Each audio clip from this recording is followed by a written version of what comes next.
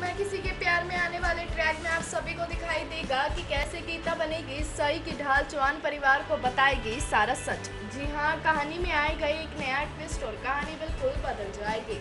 आपको बता दें अपकमिंग ट्रैक के बारे में जहाँ आप गीता रिवील करने वाली है, सारा सच और कहने वाली है कि यही आई थी हमारे घर और हमें इन्होंने ऐसे ऐसे बोला था। तो वहीं ये सब सुनकर विराट और सई के उठ जाएँगे होश तो अब आ जाएगा पाखी का असली चेहरा सामने। अब देखना दिलचस्प होगा कि सैरोगेसी के बाद पाखी का असली चेहरा आ जाएगा सामने तो क्या करेगा विराट? क्या होगा बाकी शो की कहानी में, हम आपको जल्दी बताएँगे अपनी नेक्स्ट अपडेट में। तो तब तक करें इंतज़ार और बने रहिए हमारे साथ। और आज ही हमारे चैनल को सब्सक्राइब करें।